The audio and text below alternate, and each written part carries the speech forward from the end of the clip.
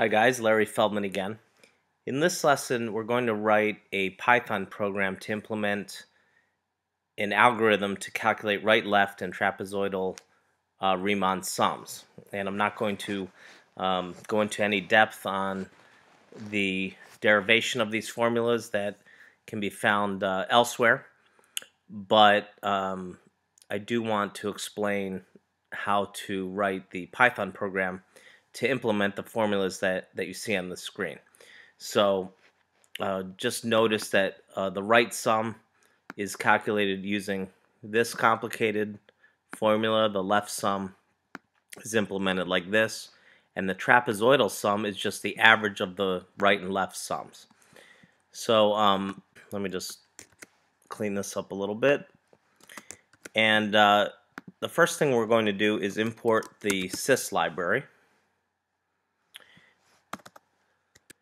And then we're going to tell the user what the program does.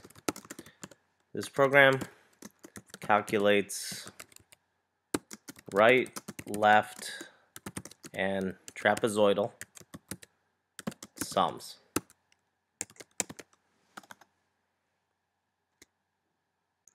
Now we're going to define an array with our x values.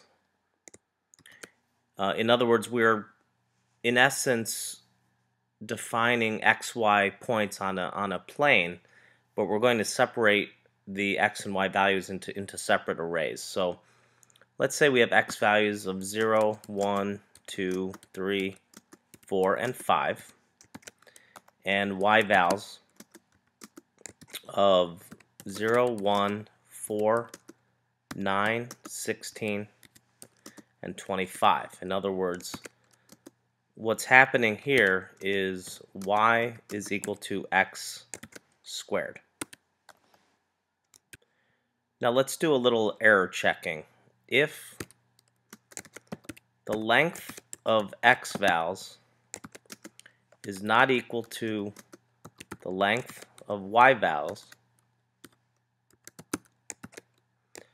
obviously we have a problem here. Uh, we need the same number of x and y values. So we're going to print the number of x and y values must be the same.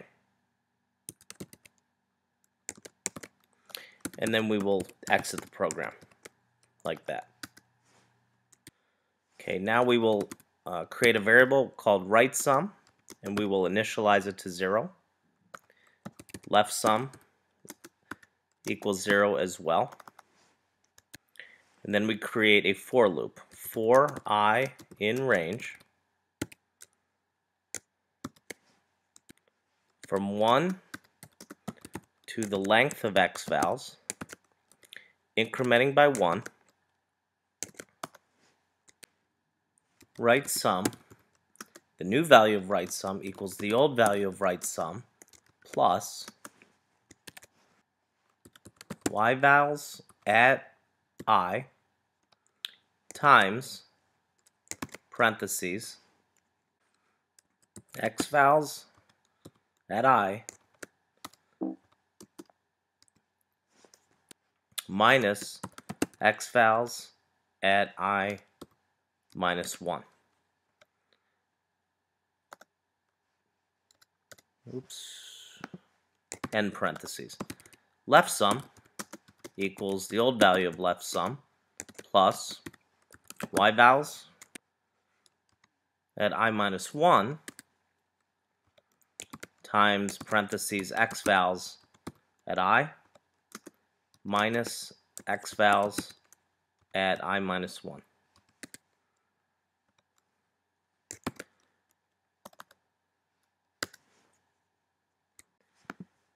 And then we've got, after that's all done, after the for loop ends, we have trap sum equals the average of the left and right sums. So we say left sum plus right sum divided by 2.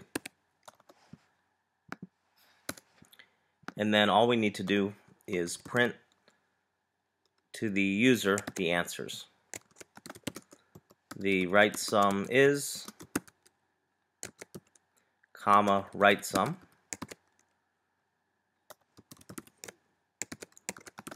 The left sum is left sum. And lastly, the trapezoidal sum is trap sum.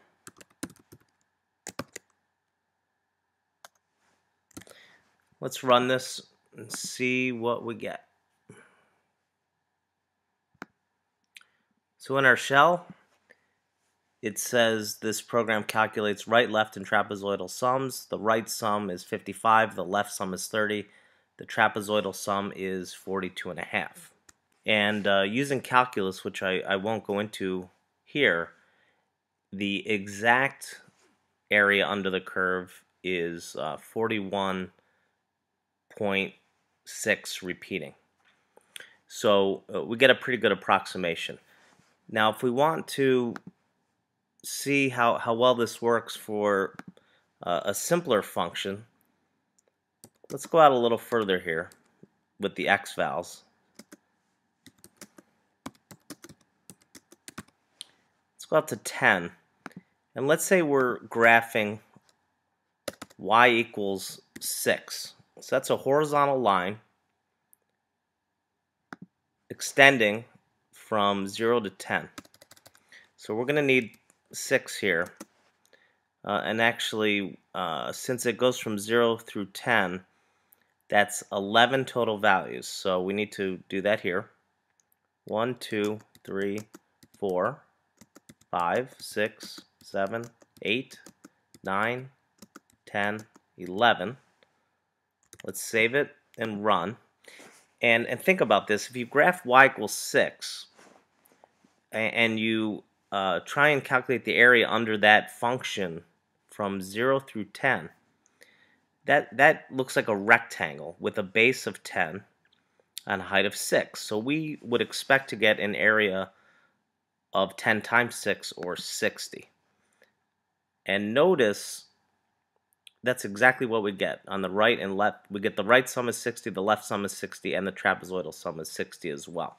And let's just test our um, error trap here. I'll remove one of the y values and I'll run it.